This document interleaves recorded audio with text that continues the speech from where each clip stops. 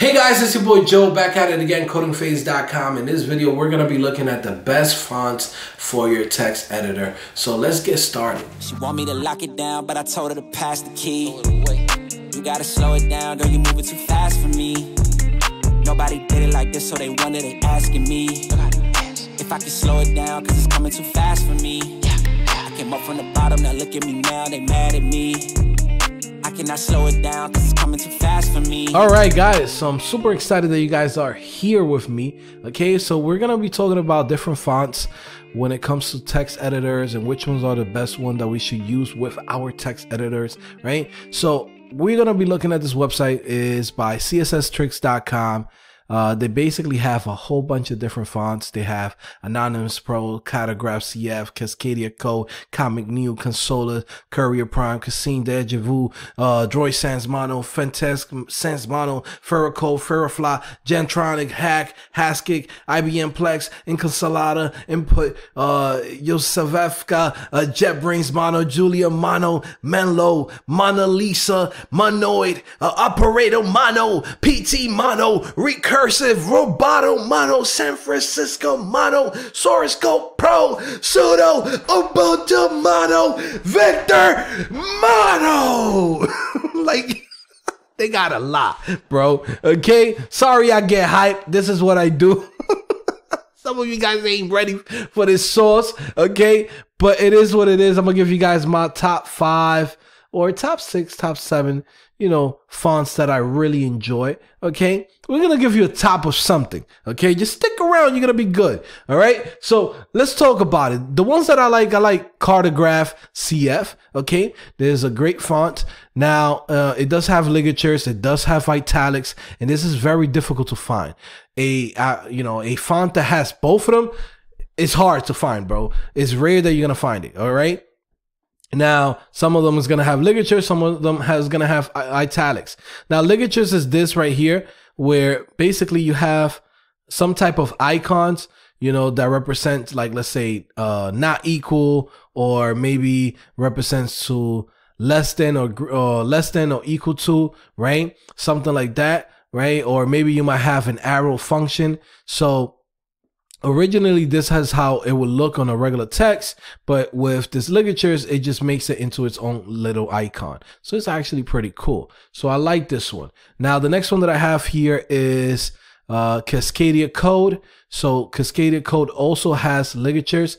Um, i like this one as far as like the ligatures way better than than everything else because the less than and equal to signs are actually uh, something that will look like a less than an equal to sign. Uh, if you look at cartograph and something like Fira Code, they have a angle that's going up. I don't know why they do that. Uh, like the little icons. Um, same thing for Fira Code. They do the same thing here. I don't like this. You know, uh, the arrow function for Fira Code is actually pretty nice because it's nice and skinny. It looks like this. Uh, as far as like the ligatures, okay.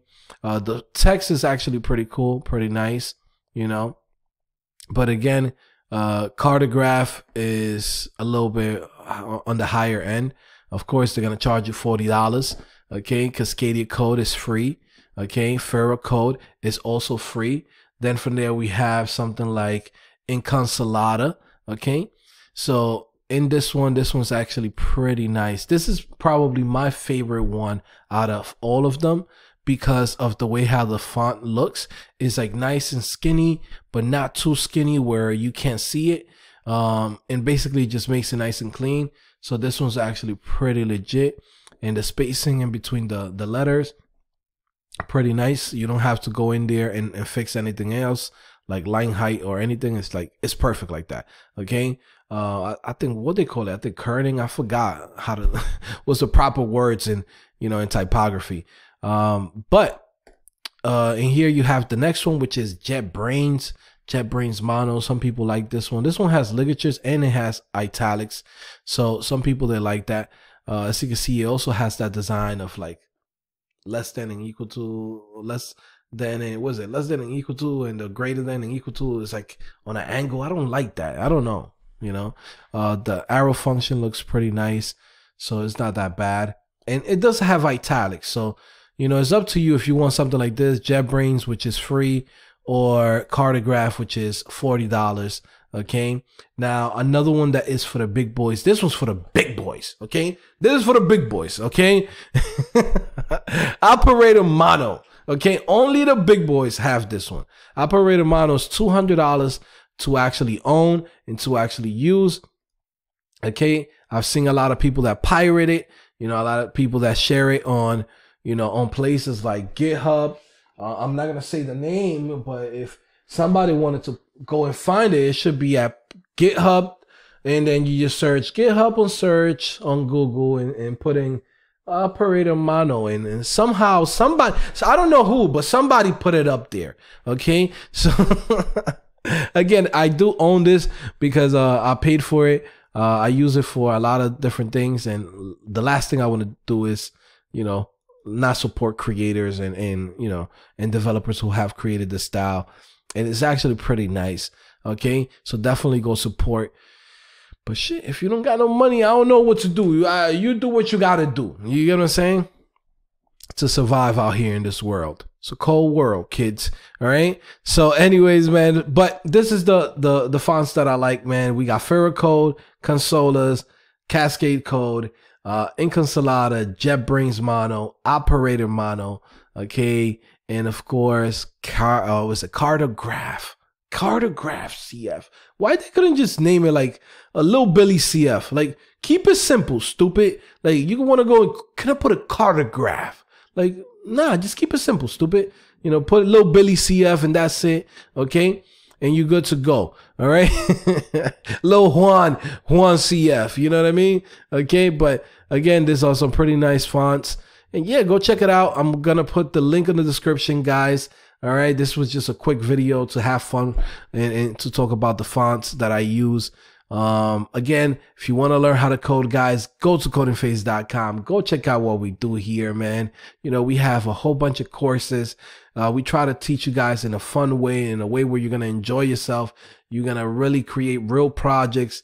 Okay things that you're going to be able to use for your job interview and be able to speak about it and you know discuss it and go into details and say hey this is why we use this. This were the problems that we faced in this course etc or this is the, the problems that we face in this project etc like you're going to be very comfortable okay? So check it out literally with $20 per month, you get access to all of this courses. Everything that you're seeing here is all courses, individual courses that you get. Okay. So not only are you getting just like, hey, access to everything, but everything is in order from start to finish on like what courses you need to take. So your journey could be very simple.